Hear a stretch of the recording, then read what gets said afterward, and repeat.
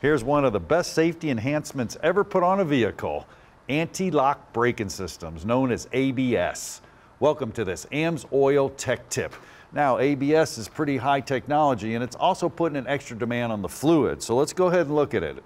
ABS is anti-lock braking systems and what it does, it's kind of like an enhancement to the base brakes. I like to think of it as power windows with actually a crank on there. So you have your base brakes, which is the crank, and then you got an enhancement of the power windows in case you need it. Your base brakes are still going to work.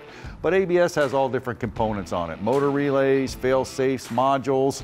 It's going to work those brakes and bring your car to a stop in a controlled manner. Not necessarily shorter, but a controlled manner. How does it work? Well, pretty cool. I can show it to you right here. It uses these wheel speed sensors and it looks at each wheel and you can see the right rear starting to slow down. Well, if that right rear is starting to slow down, it can go ahead and start pulsing the unit and put it into an ABS stop and get that wheel under control. Better yet, I can show you right here. Check this out. So if I give this gas, these are all wheel speed sensors. Now all four of these are going at the same speed everybody's happy. The ABS unit's happy. If I come over and I slow this one down, well, you can see it's going to pick that up on the sensor right here, and it's going to tell the computer, hey, this one's slowing down, and it's going to get that wheel under control. How does it get it under control?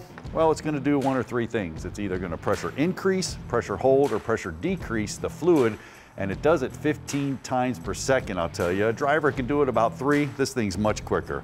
Here's how it works. So let's say that wheel was starting to lock up.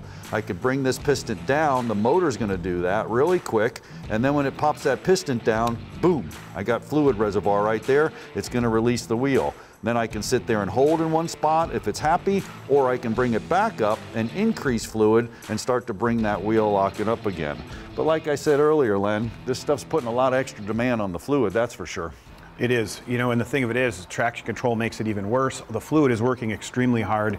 We often look at this sometimes at AMSOIL as one of the most overlooked fluids because you don't really, you use it every time you get in the vehicle, but you don't really know what's going on inside those systems. The main thing is to make sure that you're maintaining it. You got a vehicle with some miles on it. Make sure you're getting fresh fluid in that thing, uh, you know, every now and again or, you know, when the vehicle requires it.